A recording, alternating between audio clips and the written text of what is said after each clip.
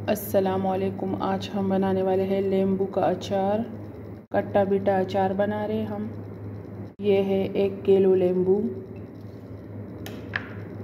इसको हमने पतले छिलके वाला लिया है। बिल्कुल येलो कलर का।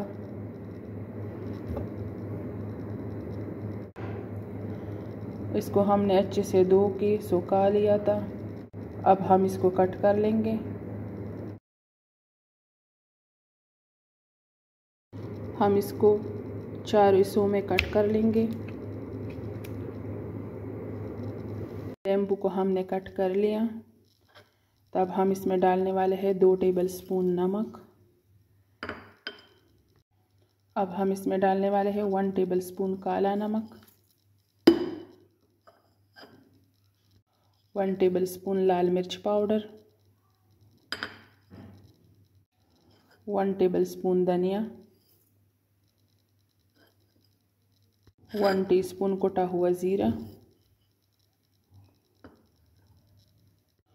वन टीस्पून कुटा हुआ काली मिर्च,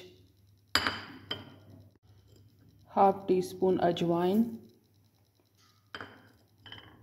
हम इसको अच्छे से मिक्स कर लेंगे।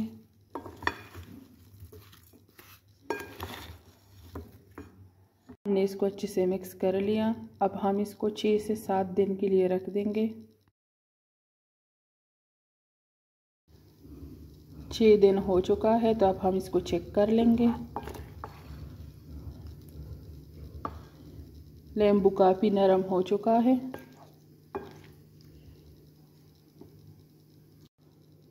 इसको हमने चेक कर लिया, ये नरम हो चुका है।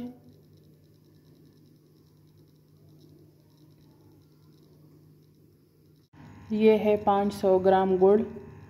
इसमें हम हाफ़ कप पानी डाल देंगे। अब हम इसको हल्की आँच पर मेल्ट होने के लिए रख देंगे। आप गुड़ की जगह चीनी भी डाल सकते हो दो कप। गुड़ अच्छे से मेल्ट हो चुका है तो अब हम इसको छान लेंगे। गुड़ को हमने छान लिया, अब हम इसको वापस से कढ़ाई में डाल देंगे।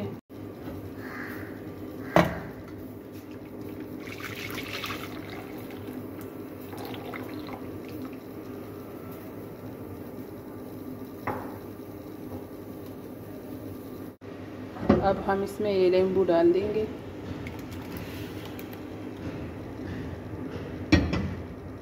अब हम इसको थोड़ी देर के लिए गाढ़ा होने के लिए रख देंगे। अब हम इसमें डाल देंगे one teaspoon garam masala.